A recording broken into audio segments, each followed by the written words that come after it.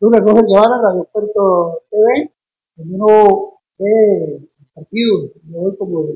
llamamos. No es el equipo que, veníamos viendo,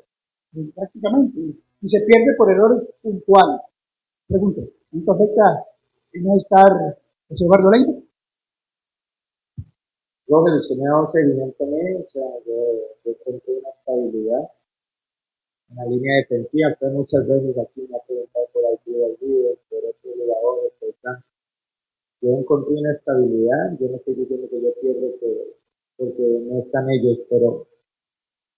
pero hoy no fuimos intensos, o sea, el primer gol es un gol que, nosotros lo podemos evitar 100%.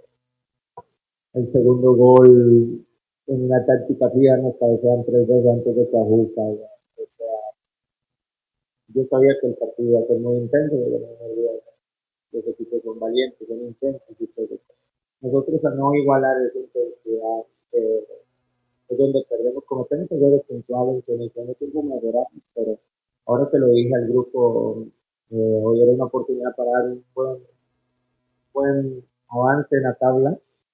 y perdemos una oportunidad. Yo asumo la responsabilidad, pero como se les he dicho a ellos, eh, con nombres y apellidos, errores puntuales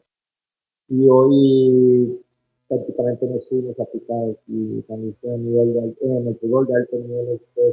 lo pecan y como le digo.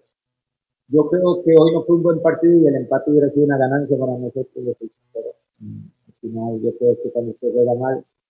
está más cerca de perder así que